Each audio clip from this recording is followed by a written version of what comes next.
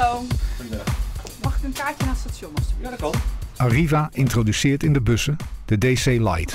Een computer met touchscreen waarmee chauffeurs op een makkelijke en veilige wijze vervoerbewijzen kunnen verkopen. Bedankt.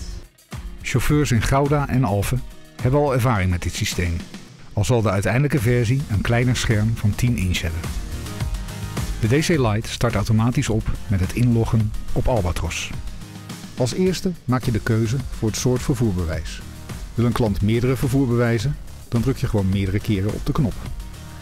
De kassa houdt het totaalbedrag bij. Om de klant te kunnen laten pinnen, druk je op de knop pinnen. Op dat moment wordt de pinterminal actief en kan de klant snel contactloos betalen, met een pincode afrekenen of met een creditcard. Pas als de pas is verwijderd uit de terminal, print de printer een pinbon en het gevraagde aantal vervoerbewijzen. Mocht er iets misgaan met het invoeren, dan kun je met de breekknop eenvoudig regels uit de kassa verwijderen.